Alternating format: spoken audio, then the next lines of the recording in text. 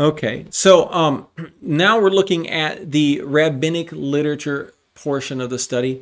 So uh, we look at the Targum Jonathan, and it is an Aramaic and a rabbinic translation of the book of Isaiah, and is therefore a very valuable resource for the study of the book of Isaiah.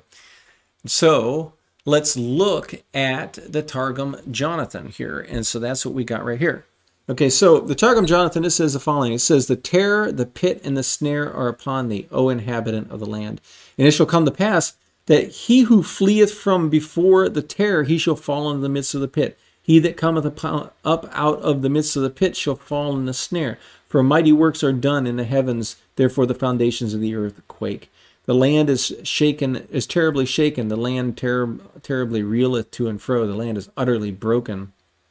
The land is utterly cast down like a drunkard. Um, she is rotting like a couch, and her sins are heavy upon her. She shall fall and rise no more. And it shall come to pass at that time that the Lord shall punish the mighty host that is dwelling in power, and the kings, the sons of men, who are dwelling upon the earth. And they shall be utterly gathered for the prison, and they shall be shut up in the dungeon, and after many days they shall be remembered. And they shall be confounded that worship the moon, and they shall be ashamed that worship the sun, because the power of the Lord of hosts shall be revealed in Mount Zion and before the elders of his people in glory. Okay, so when we when we read through this, we can see that Jonathan did a pretty good job of rendering pretty much word for word that we see in the Masoretic text. Now, when we compare the Masoretic text with the Targum Jonathan. The Targum Jonathan appears to place a lower emphasis on the spiritual aspect of the host of heaven, right? The, the Targum Jonathan is also referred to as the Targum um, Yonatan, you know, and it's the official Eastern Babylonian Targum, Aramaic translation to the Nevi'im, to the prophets. And the Targum Jonathan is a major source for the history of biblical interpretation. This is why we look at Isaiah after we look at the Hebrew Bible, the Masoretic text. And um, because the reason this is so important for biblical interpretation is it often inserts paraphrasing explanations of which sometimes go back on very old exegetical traditions found in no other rabbinical work you know and in which in other cases constitutes the earliest attestation of these these this interpretation. So here, the Targum Jonathan speaks to terror causing one to flee, right? The terror, right? That causes causes a person to flee. And the translator of the prophets um, the Targum Jonathan chose to focus more on the land of Israel and those who have turned from the paths of righteousness, right? The outcome of those who turn from the Torah of God. The Torah describes the situation, what that sudden fear will overtake such persons and they will have not have security in the land they will flee from the enemies right and and this is the description that the torah gives to those who are unfaithful right and we read that in deuteronomy you know, and th- this is the description according to Isaiah chapter 24, verses 17 and 18.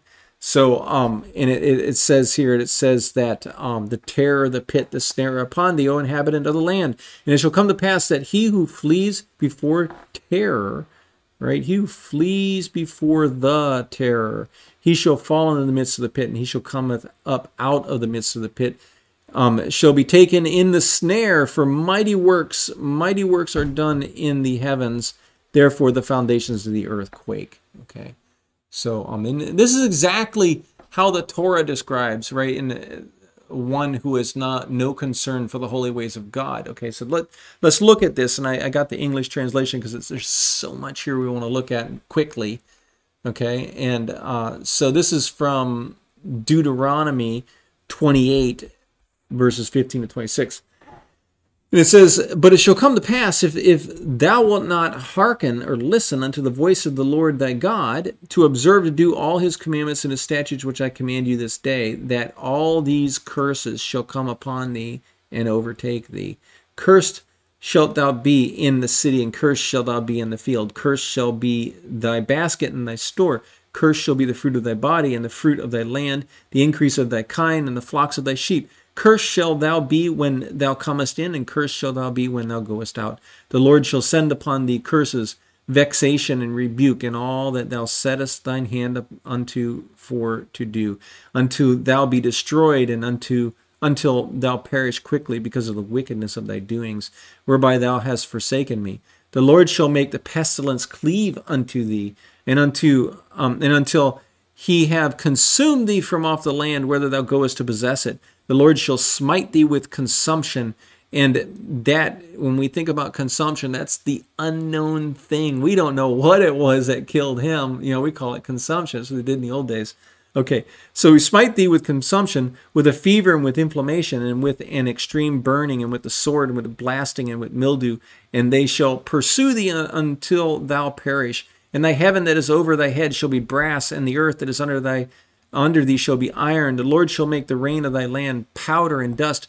From heaven shall it come down upon thee, and until thou be destroyed. The Lord shall cause thee to be smitten because thine enemies. Thou shalt go out one way against them, and flee seven ways before them, and shall be removed into all the kingdoms of the earth. And thy carcasses shall be meat unto all the fowls of the air, and unto the beasts of the earth, and no man shall fray them away. Okay.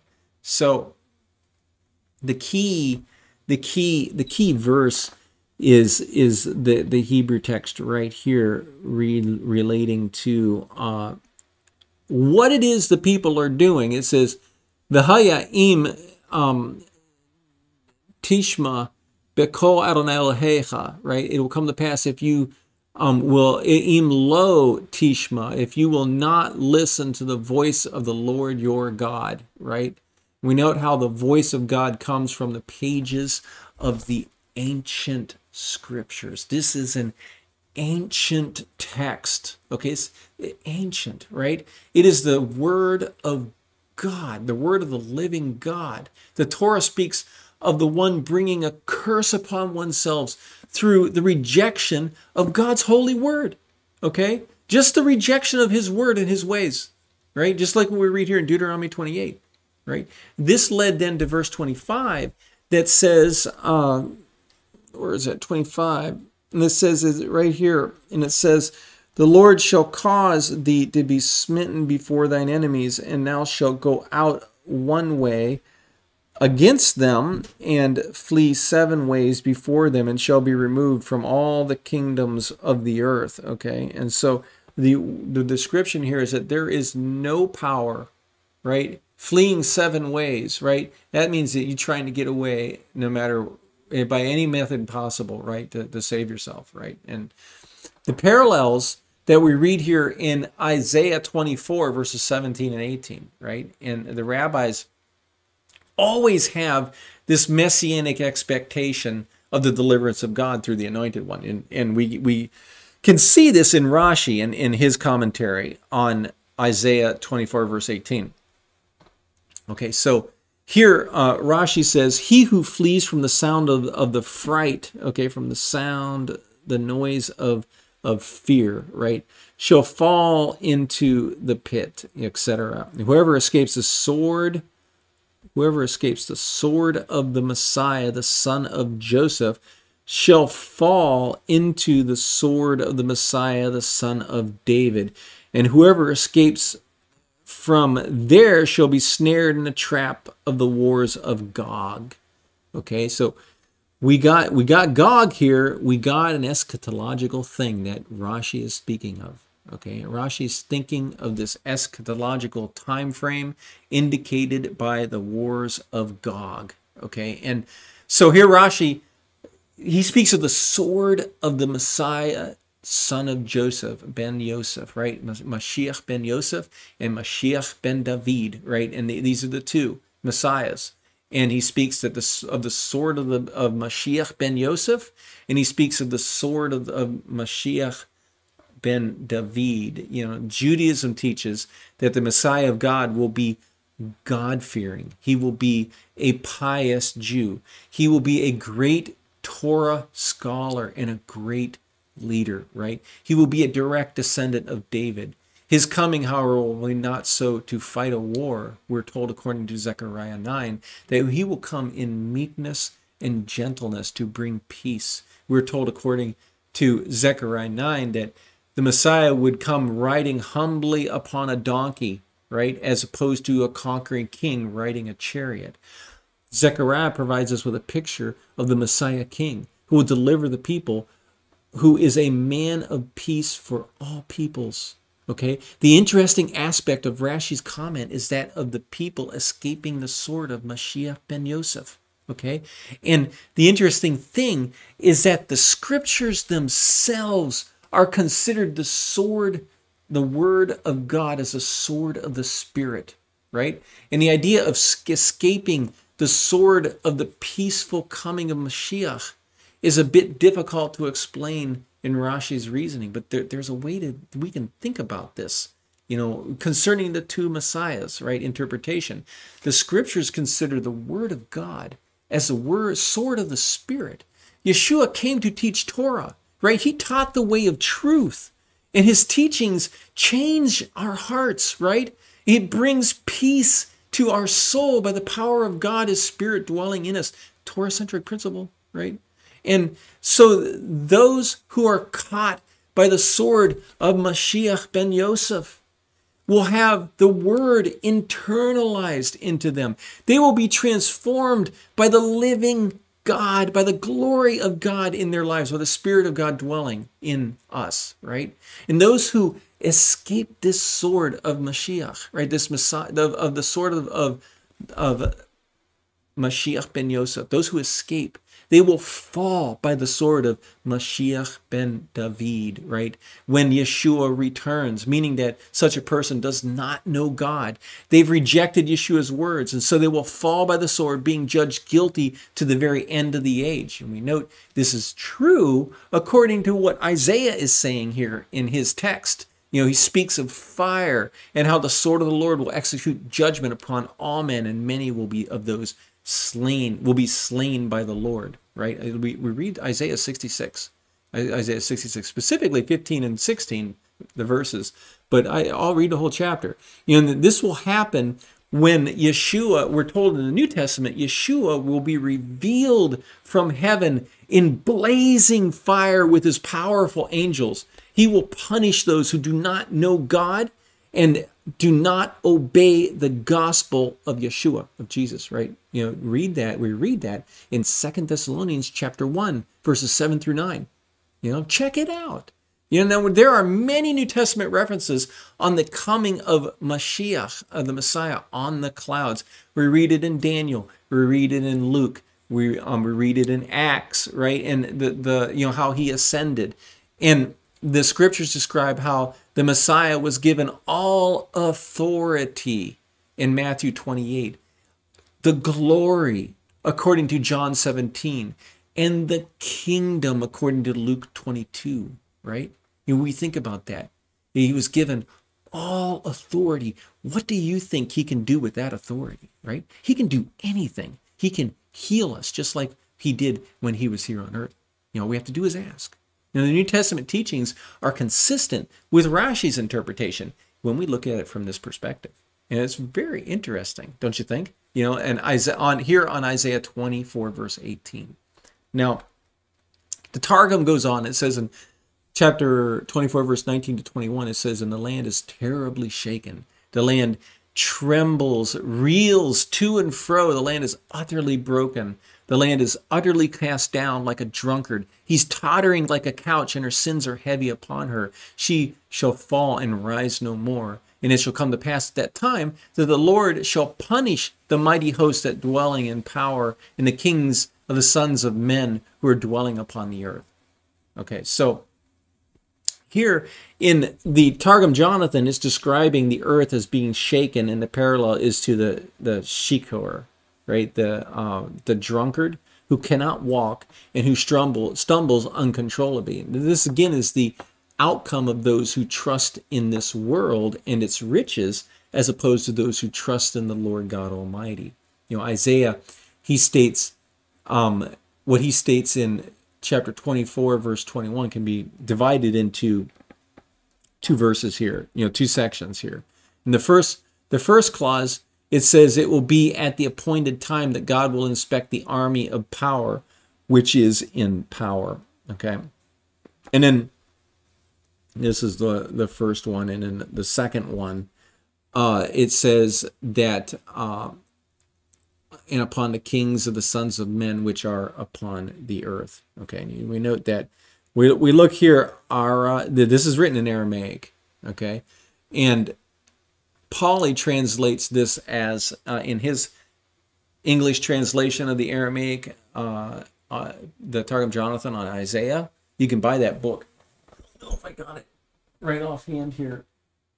Um, no, I don't see it. But um, yeah. Okay. Anyway, it's back here somewhere. But um, he translates this as, and it shall come to pass at that time that the Lord shall punish the mighty host that dwelling that is dwelling in power, and the kings, the sons of men who are dwelling upon the earth. Okay, so the concepts of the army of power and the mighty host are consistent with each other. You know, commentary or um, Torah Ohr uh, 45 has the following interpretation concerning these things. And so um, let me, okay, so th this is a big one. Uh, wait a minute. Let me look at the title again. Maybe it had a typo there. Okay, it's not Torah or. It doesn't look like. Oh yeah, it is. Okay, it is right. It is right here. I shortened it right there. I shortened it. Okay, so um, that is uh, uh, Shnei Luchot Habrit Torah uh, Shebi Chatav uh, Chukat Torah Ohr. Okay, so it, it might be on Parashat Chukat. This is written on so, eh, okay, so it says, when Israel was freed from the dominance of the angel of death, while it received the Torah at Mount Sinai and lost its freedom due to the sin of the golden calf, the angel Mada Tarmolin was the face of an ox looked up position on Israel's left, and Satan and the nations of the world started counting the people. Once the sin had been re- redressed by means of, amongst other things, the ashes of the red heifer, okay, um, Torah, the angel um, that normally the uh, so that even uh, Torah Yadid um, Tamima was restored to being perfect, negates portends evil had to approve Israel's rehabilitation. When this condition does not exist, our situation is reversed, and all our adversaries are waiting in the wings to applaud our downfall. In the introduction to Midrash Rabbah of Eicha, we find the comment on Daniel 8:12. It says, um, Mali Malihut, um, for example, Seva and a set time army will be allotted to daily sacrifice because of sin. In that day, um, then we, we see this, they're talking about the Seva hum, Hamarom, Bamarom, right? The this host in heaven is the dominance of by other nations. We know this from Isaiah 24, 21. We refer to um, Tamid, the Lord will punish the hosts of heaven in heaven and the kings of the earth on earth. And the occupy themselves with it by day and uh, by night, right? By day and by night in Daniel is a reference to Israel since it is written, refers to the sin of neglecting Torah, okay? and let's underline that and any um okay in the word uh, tamid by night uh the time Israel throws Torah to the ground, okay, and other nations will prevail over us since it says that truth is a reference to Torah, emet. You know, when it throws truth to the ground, we know that by the by the truth never sell it. If you throw words of Torah to the ground, other nations will act and will immediately prevail against you. Confirmation of this is found in Daniel 12 or 8 verse 12 and succeed. Since Gentiles do not have Torah, the verses the verse must refer to the Gentiles prevailing over Israel. Okay, so um, there's a lot in there, but we note something about this rabbinic commentary how the rabbis state that when the people of Israel received the Torah at Sinai, they were freed from the dominance of the angel of death. Okay, Interesting, interesting interpretation, right? Torah, right, and being free. And however, when the people sinned with the golden calf, they lost their freedom. And so this reveals to us how the Torah is in and of itself powerless to save a person from sin.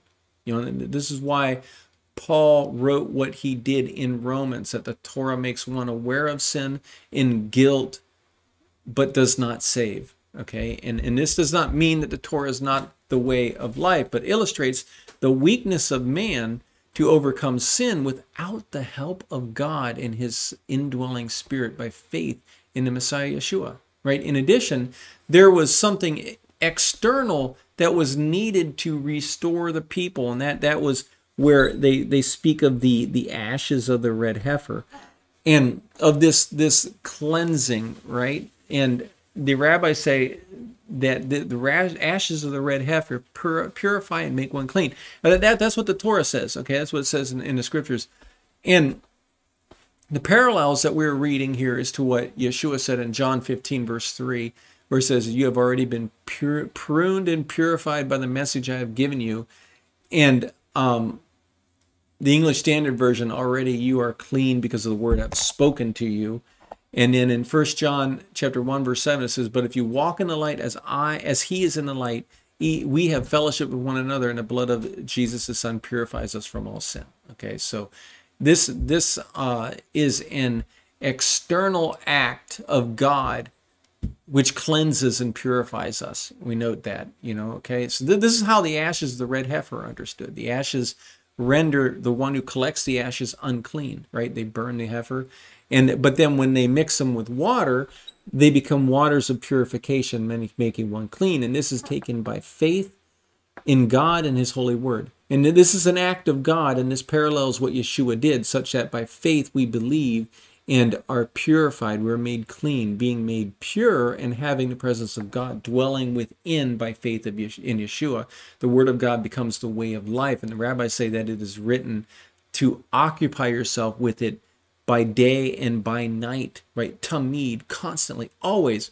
Okay. And the commentary also states that any anytime Israel throws Torah to the ground, other nations will prevail. And this is relevant for our lives today as God's word is to be studied memorized and applied to our lives.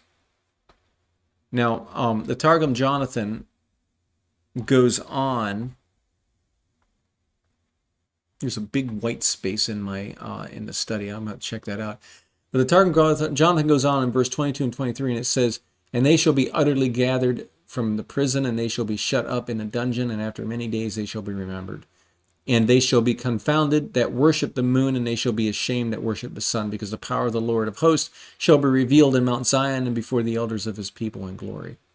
Okay, so the ancient Canaanite religion dealt with the sun and the moon. Okay, and the, the Ugaritic tablets are particularly useful for understanding the nature of the religion in the Bronze Age Canaan. Okay, and Egyptian, Mesopotamian, Hurrian, and Hittite ideas would have influenced as well as being affected by these Ugaritic traditions. You know, furthermore, all the existing texts are connected with royal or official religious institutions, not the religion of the general population. So people throughout Canaan worshipped many deities as indicated by the theophoric names, uh, toponyms, and biblical texts and inscriptions. Over 150 Canaanite gods can be found in the Ugaritic texts. It's amazing. Yes, that's why I said that there's a Parthenon of gods in this Canaanite religions, right? And the structure of the Canaanite Parthenon can be compared to a divine family or governmental hierarchy. And the concept of the assembly of gods seen throughout the ancient Near East can be clearly seen in the Ugaritic myths. And so I got that out of the uh, Lexham Bible Dictionary on Canaanite religion. That's where I got that that information from. So there is a common Semitic term for God, that is El, which is described as the high God and the head of the divine assembly. And the text states that Baal rebelled against El and took over as chief god. And there were, there were three main sections of the Ugaritic myths concerning Baal. Baal, right, is is one is describes the the building of his temple or palace on Mount Zaphon. Two describes his conflict with the god of the underworld, Mot. by whom he is killed and must raise again to ensure the renewal of the world's fertility. We note there's a resurrection theme, okay? And then Baal was known as the mightiest of heroes and the victorious Baal. And then three, um, the third thing describes his fight for kingship with Yam, the god of the sea and rivers, who, who reflects the chaotic aspect of water. Yam often occurs with and is probably identified with various sea serpents. And so this myth celebrates Baal's kingship and might against the powers of chaos and destruction, and may also show his protection of sailors and votive anchors were found in his temple in Ugarit. Okay, and um, so here the Targum Jonathan describes how those who worship the moon and the sun, you know, they'll, they'll become founded and ashamed, right? And uh, the reason being is that the Lord God will Almighty will cast these false gods down upon whom the people trust. And it is in these things that we find the context of the sun and the moon being ashamed in, in Isaiah 24, verses 19 to 21. Now, Midrash Tanhuma and Ibn Ezra have the following to say concerning these verses. So um, we just got one more slide after this. So um, in Midrash Tanhuma, Bo 4, part 7, it says, Rabbi Meir said, and the wild ox descended with them, implies that their idols were cast down with them in Egypt. He expected retribution from their idols. He also punished them in Edom. He destroyed their guardian angel, right? There we go. We see that again, right? The guardian angel. And after that, he destroyed them, as it is said, and it shall come to pass in that day that the Lord will punish the hosts of the high heaven on high, and the kings of the earth upon the earth. Okay. And then Midrash Tanhuma um, 10, uh, let's see, 18, uh, on Mishpatim 1810, it says, and so he would do in the future, he would punish their, he would punish their guardian angels, and even the, and, and when the kings of the nations, and as it is said, and it shall come to pass in that day that the Lord will punish the hosts of the high heaven on high, there's our verse, right? And the kings of the earth upon the earth. The Holy One, blessed be he, said to Israel, In this world I will send an angel to make the peoples of the world flee from you. But in the future I will lead you, and I will send Elijah before you, as it is said before, Behold, I will send you Elijah the prophet before the coming of the great and terrible day of the Lord. And in um, Malachi 3.24. And then um, the Ibn Ezra text, okay? And is what I'm concluding with here in the study. It says, many refer to this predi- prediction to an eclipse of the sun and the moon, but more correctly is referred to the angels that are ready to assist or to attack a nation.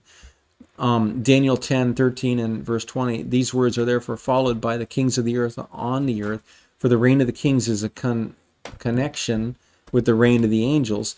Those unknown causes that govern the destinies of men and nations are sometimes personified and rep- represented as the messengers of the angels of the Lord. Each nation is therefore said to have its own angel above, right there. You remember I was I was talking about that. Each angel has its own angel above, in whose hand is destiny. Its destiny is placed, and the prosperity of the or the misfortune of a nation is made dependent on the success or failure of its representative angel above. Okay, and so you, we see this this underlying spiritual force, right? Doesn't it sound like a, a, lot like Ephesians chapter six? You know, Paul talked about that. We wrestle not against flesh and blood, right? We wrestle against the spiritual forces, and this is this. These are the things that we see here um, in Midrash Tanhuma and Ibn Ezra are talking about. Okay, and we note how the Midrash interprets Isaiah 24 verse 21 as as we did, stating that these idols were cast down, their guardian angel is destroyed, and the Lord punishes the host of, of the heaven of the high heaven on high, you know, as a reference to those to these things, right? Midrash Tanhuma states that the destruction of the spiritual forces are over the nations is connected to the Lord God Almighty sending an angel to cause the people of the world to flee from Israel. And the Lord God will lead Israel, sending Elijah before them, quoting from Malachi 3:23. And this is a pronouncement of the forerunner to the Messiah, John the Baptist, right? And the purpose is given according to Malachi 4 6. And it says, And he shall turn the heart of the fathers to the children, the heart of the children to the fathers, lest I come and smite the earth with a curse, right? You got this honor your father, right, and your mother, right? A very important command, right? And we note the connection here to the text from Isaiah through the curse on the earth, which would lead to its destruction. You know, what we're reading in all of Isaiah 24. We note that the Nevi'im, the prophets section of the Tanakh, ends with the judgment of a curse known as herem, okay? And, and this is a reference to the devoted thing, an object or person that is devoted to the God of Israel, whether for cultic use or for destruction. And this is the worst type of curse, one of utter destruction. And this this is the rabbis in their reading of the book of Malachi in the synagogue do not like to include the reading from the curse. And after reading verse 6, they repeat verse 5 so that it will not close on a curse. And we also note that 400 years later, the blessing of the coming of Messiah of God had come to restore the relationship of the world with the Creator God for those who would believe in Him. And we note how Ibn Ezra does not interpret these things as spiritual forces who are deceiving the nations. He considers these as illusions through the personification of unknown causes which should govern which govern the destinies of men and nations. Right? He he's more of a realist. You know, he's he does not a spiritualist. Right? And he utilizes this concept to describe the angel above who is judged based on the angel's success or failure. And we note again how these things draw out what the Torah speaks of um, those who bring a curse upon oneself through, the rejection of God's holy word, right? We read in Deuteronomy chapter 28. And this leads to the verse in, in Deuteronomy 28, verse 5. It says, The Lord shall cause thee to be smitten before thine enemies, and thou shalt go out one way against them and flee seven ways before them and shall be removed into all the kingdoms of the earth. And, and this is the outcome of those who reject the instruction of God, the word of the living God, who reject the Bible, right? And according to the Talmud, Pesachim uh, 28a, the Gemara states that the, the verse referring to the sun and the moon being ashamed before the glow of the divine presence is referring to the world to come, which is an entirely different world, where it says that their light will increase, is referring to the days of Mashiach, right? To the Messiah. You know, ultimately, the application of these things for our lives today from Isaiah 24 is to the importance of God's word in preparing for that day, right? You know, these things reveal to us how there are spiritual forces working in the background to deceive. And this is the spiritual war that Paul calls the day of evil in Ephesians 6:13. You know, Paul tells us in his passage to be strong in the Lord and to stand firm. You know, how does one stand firm if he or she does not do so by faith in God's holy word, right? In addition to this, Peter tells us to resist the devil, stand firm in the face and in, in the faith, right? In 1 Peter 5 9. You know, Peter is teaching us that faith in God is the key to standing firm in the midst of the day of evil. You know, John tells us also not to be afraid when we are in tribulation because Yeshua has already overcome the world in John 16, verse 33. You know, all of these things, all of these things that we've been studying, you know, that they support the New Testament text concerning the days of Mashiach or the days of Messiah. Faith in God our Father in heaven and in this Torah centric principle of God dwelling on our, in our midst through the indwelling of the power of God by His Holy Spirit, through by our faith in Yeshua the Messiah. You know, that this is this is what I feel all of these things they culminate in, right? And so um that's what I had for the study for tonight. Hope you enjoyed it. I enjoyed it. I enjoy, always enjoy teaching. And, and come back next week. We're going to start Isaiah 25. Okay. Thanks for listening. Bye.